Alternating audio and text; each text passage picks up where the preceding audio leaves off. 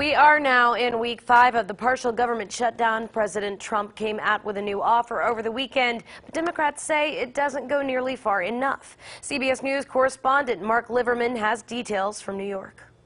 President Trump's latest plan to end the partial government shutdown hasn't won over his critics. If he opens up the government, we'll discuss whatever he offers, but hostage taking should not work. The offer? Temporary protection for some immigrants here illegally in exchange for the border wall. This extension will give them access to work permits, social security numbers, and protection from deportation. Democrats say the president created the very problems he now wants to solve. It was effectively saying, look, I created a problem by taking away protections for dreamers. I created another problem by taking away protections for refugees.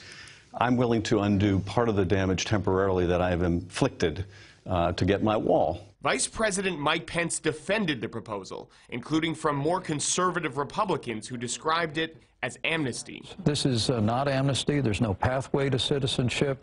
There's no, uh, you know, there, there's no, you know, permanent status here at all, which is what amnesty contemplates. The Senate is expected to vote on the bill tomorrow. Some Republicans admit it's just a starting point. Uh, the vote this week in the Senate is not to pass the bill, it is to open up and say, can we debate this? Can we amend it? Can we make changes? 800,000 federal employees aren't getting paid until the shutdown ends. The TSA said that its employees are calling out at more than double the usual rate due to, quote, financial limitations. Mark Liverman, CBS News.